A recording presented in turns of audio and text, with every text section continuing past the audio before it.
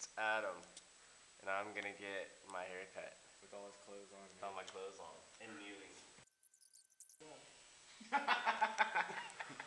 oh.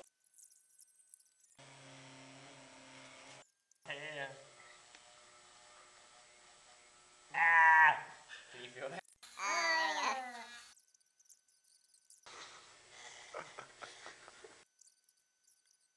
And that YouTube, take cut your hair. Oh no, Adam, come here. you have to do like a 360. Okay, it's pretty good from the front. Looks good, right? Yeah. All right.